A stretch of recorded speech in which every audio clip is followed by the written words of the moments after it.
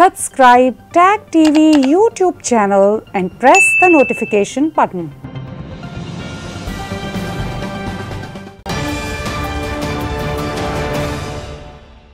असलम नाजरीन tag TV के Pakistan studio के साथ मैं हूँ रुखसा शहजाद सबसे पहले शामिल करते हैं न्यूज़ हेडलाइंस पाकिस्तान में कोरोना वायरस की शिद्दत में इजाफा हो गया। मोजी वबा ने मजीद 111 जिंदगियाँ छीन ली, जबकि 24 घंटों के दौरान मजीद दो हज़ार दो सौ छप्पन अफराद मर्ज में मुबतला हो गए। डिजिटल अकाउंट में जमा कराए गए रकूम 200 मिलियन डॉलर से तजावुज कर गई। वज़ीर इमरान खान कहते हैं कि समंदर पार मुकीम पाकिस्तानियों का मशकूर हूँ। कम से कम कीमत पर बेहतरीन कोरोना वैक्सीन पाकिस्तान लाना हदफ है। वफाकी वज़ीर बरए साइंस और टेक्नोलॉजी फवाद चौधरी कहते हैं कि टारगेट है कि बेहतरीन कोरोना वैक्सीन पाकिस्तान में जल्द अज जल्द दस्तियाब हो सके। इमरान खान मेरे एहतसाब के शिकंजे में हैं। तख्ता उलटने तक चैन से नहीं बैठेंगे। सरबराह जमयत इस्लाम मौलाना फजल रहमान कहते हैं कि हुकूमत का खात्मा करके दम लेंगे। अमरीकी सहाफ़ी डैनियल पर कत्ल केस के मुलजिम उमर शेख की नजरबंदी गैर कानूनी करार दे दी गई। सिंध हाई कोर्ट ने उमर शेख को रिहा करने का हुक्म दे दिया। Ala clean quality, 75% food grade alcohol, non sticky और नॉन ऑयली फार्मूला आज ही अपनी करीबी फार्मेसी से खरीदें या हमारी वेबसाइट पर ऑर्डर करें। www.greenish.com कनाडा में आपके पास डॉक्टर और लॉयर होना बहुत ज़रूरी है। हम आपको बताने जा रहे हैं एक ऐसा नाम जो है reliable trustworthy and honest law firm of Shikha Sharda nine zero five nine five six six six nine nine पर family law real estate wills और किसी भी तरह के एफिडेविट या पैरा लीगल प्रॉब्लम के लिए law firm of Shikha Sharda nine zero five nine five six six six nine nine पहली कंसल्टेशन बिल्कुल फ्री है। Call lawyer Shikha Sharda nine zero five nine five six six six nine nine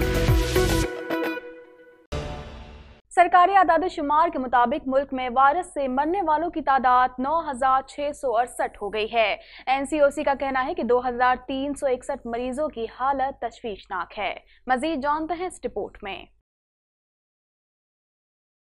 Pakistan में corona virus की दूसरी लहर मजीद शिद्दत इख्तियार कर रही है। मोजी वायरस से 24 घंटों के दौरान मजीद 111 अफराद जाबहक हो गए हैं, जिसके बाद अमवात की तादाद नौ हज़ार छः सौ अड़सठ हो गई। पाकिस्तान में कोरोना के तस्दीक शुदा केसेस की तादाद चार लाख पैंसठ हज़ार सत्तर हो गई।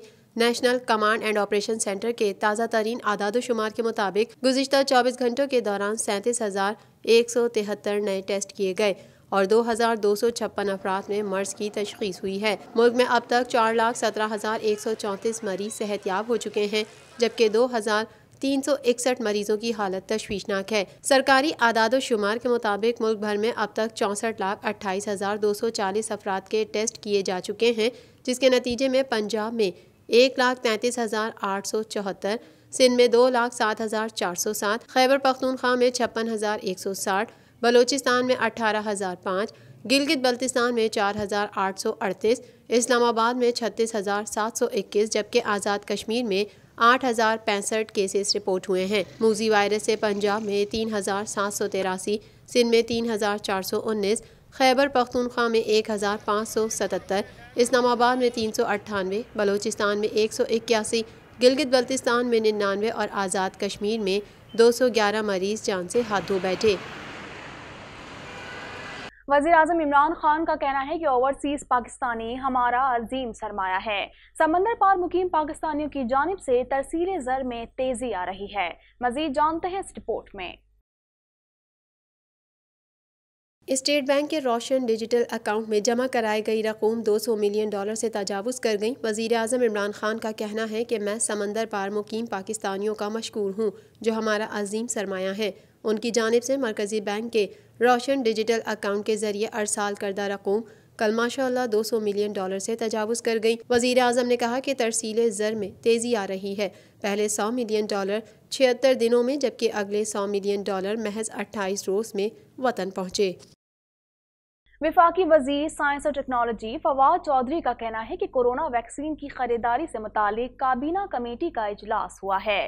वैक्सीन की दरामद, पेचीदा और अहम मामला है। हम वैक्सीन के मैार पर कोई समझौता नहीं करेंगे। मजीद जानते हैं इस रिपोर्ट में। विफाकी वज़ीर बरए साइंस और टेक्नोलॉजी फवाद चौधरी कहते हैं कि हमारा हदफ है कि बेहतरीन कोरोना वैक्सीन कम से कम कीमत पर पाकिस्तान में जल्द अज जल्द मुहैया हो सके।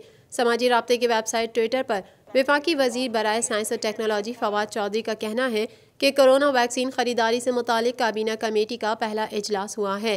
वैक्सीन की पाकिस्तान में दरामद, पेचीदा और अहम मामला है। ताहम हमारा टारगेट है कि बेहतरीन वैक्सीन कम कीमत पर पाकिस्तान में जल्द अज जल्द दस्तियाब हो सके।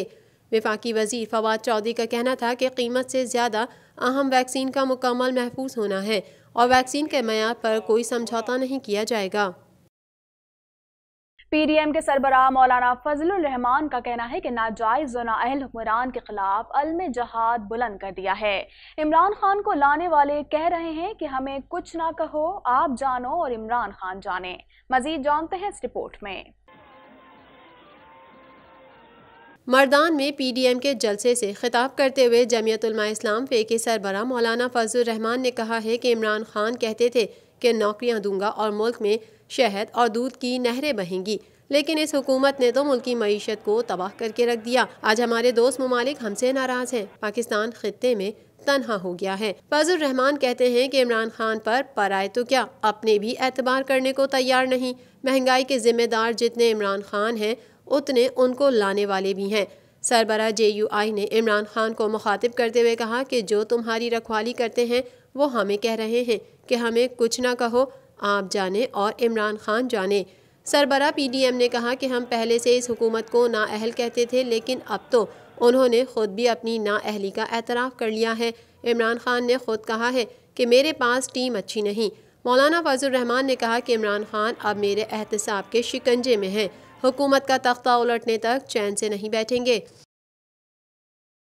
सिंध हाई कोर्ट ने अमरीकी सहाफ़ी डैनियल पर कत्ल केस में मुलजिम उमर शेख की नज़रबंदी पर बड़ा फैसला सुनाते हुए उमर शेख की नज़रबंदी खिलाफ कानून करार दे दी। अदालत ने उमर शेख को नज़रबंद करने का नोटिफिकेशन कलदम करार देते हुए उन्हें रिहा करने का हुक्म दे दिया।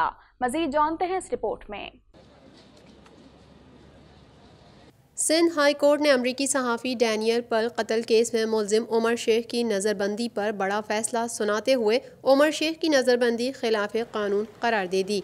अदालत ने उमर शेख को नज़रबंद करने का नोटिफिकेशन कलदम करार देते हुए उन्हें रिहा करने का हुक्म दे दिया। अदालत ने उमर शेख का नाम ई सी एल में शामिल करने का हुक्म दिया और हुकूमत को अदालती हिदायत के बगैर उमर शेख के खिलाफ कार्रवाई न करने की भी हिदायत की। सिंध हाई कोर्ट ने अमरीकी जरीदे वॉल स्ट्रीट जर्नल से मुंसलिक सहाफ़ी डैनियल पल के कत्ल केस में बरतानवी शहरी अहमद उमर शेख की सजाए मौत को सात साल कैद में तब्दील कर दिया है। सज़ा पूरी होने पर उनकी रिहाई होनी थी। ताहम सिंध हुकूमत ने उमर शेख की नज़रबंदी के अहकाम जारी किए और विफाकी हुकूमत ने भी सिंध हुकूमत के फैसले की हिमायत की। मजीद खबरें भी बुलेटिन का हिस्सा होंगी, मगर इस ब्रेक के बाद। Subscribe Tag TV YouTube channel and press the notification button